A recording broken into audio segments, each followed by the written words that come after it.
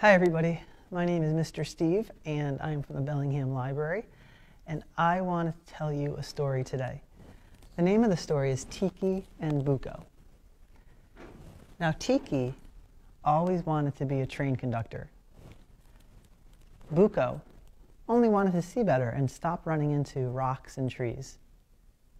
This is their story, and it's a draw and tell story. So, as I'm telling you their story, I'm going to be drawing the story as well. It all starts off over here on Bellingham Farm. That is where Buko lived. One day, Buko was running along and boom, ran right into the rock. Ouch, said Buko. But Buko just kept on running along until boom, he ran right into another rock. And Buko said, That is it. I'm going to go to the city to get some glasses so I can see better. The next day, Buko caught the train right at the end of the farm. And as they were going, they made a stop and picked up Mr. and Mrs. Nelson right there. And Mr. and Mrs. Nelson and Buko went together all the way towards the city. Buko liked having the company. Meanwhile, Tiki lived over there in the mountains.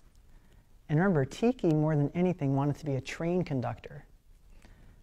That same morning that Buko was going by on the train, Tiki decided, I'm tired of just wishing I was a train conductor. I want to actually become a train conductor, so I'm going to go to the city and meet with the train president. So Tiki took off from the mountains, caught the train right there, and they went all the way down to the city together. Once they got to the city, Buko got off really quickly and went into this really big building, just like this. Buko went in this door and took the elevator all the way up to the sixth floor to the eye doctor's office. Once he got there, he knocked on the door. Come in, come in, said the eye doctor. Buko told the eye doctor that he couldn't see very well and was running into rocks and trees, and the eye doctor said, Well, let's give you a test. And they gave Buko a test, and the eye doctor said, Yep, you're right, you need glasses. And the eye doctor worked on the cash register and said, That's going to be $100. Oh no. Buko did not think about money. Buko did not have $100 he did not have enough money even to make it all the way back to the farm on the train. So he went down the elevator, out the door, and then sat right over here in the park and cried. Meanwhile, Tiki went in this door and took the elevator all the way up to the ninth floor. And that's where the train president was. When Tiki got to the train president's door, Tiki went, and the train president said, Come in, come in. Tiki walked into the office and said, President, I would like to be a train conductor. Well, let me tell you, that train president was not very nice. He laughed and he laughed and he laughed and said, You? You're way too small to be a train conductor. And that made Tiki very mad. Tiki went all the way down, out that door, and then around the building. And instead of waiting for the train, Tiki started heading back towards the mountains himself. Tiki was saying, If they don't want me to drive a train, I don't want to ride a train either. So Tiki was going, going, going, going, going, going. But now it was getting kind of dark. Tiki saw a lake right over here, and he pulled off to the side of the road and decided to take a nap.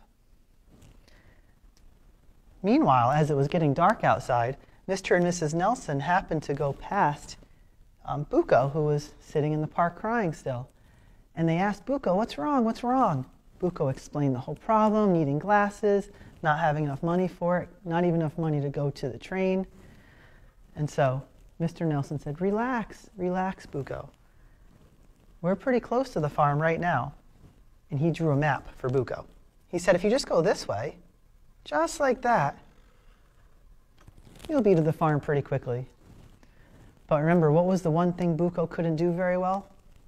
See, right. So instead of going the way that Mr. Nelson had suggested, Buko ended up going the same way that Tiki was. Went. So followed along like this. Boom, boom, boom, boom, boom. And Buko is thundering along, boom, boom, boom, boom, crying, not paying any attention. And then all of a sudden he heard a noise like this Hey! And he looked down and he saw Tiki right there. And Tiki said, You have to watch where you're going. You're going to hurt me. And Tiki was so mad still. And Buko was sad. Buko said, I'm sorry. I didn't see you. I'm really, really, really, really, really, really sorry. How about I make it up to you and you, I'll give you a ride and we can go back to the mountains for you? And Tiki agreed. So Buko started walking up towards the mountains like this with Tiki on his back. Oops, there we go. And as they were walking, Tiki said, You know, this is kind of like being a train conductor. I can tell you where to go, and you go that way. And Buko said, Yeah, and you know, I like it too because you're telling me how I can miss the rocks to go left and go right, and I'm not hitting rocks at all. They decided they would be friends forever. So if you are ever in Africa and you happen to see a bird on the horns of a rhinoceros, you have probably just seen Tiki and Buko. And see, that's the end of the story. So now we can see that, we'll put an eye there. We can see that there's a rhinoceros. That was Buko. There's Tiki the bird. And they're helping each other out. That's called a symbiotic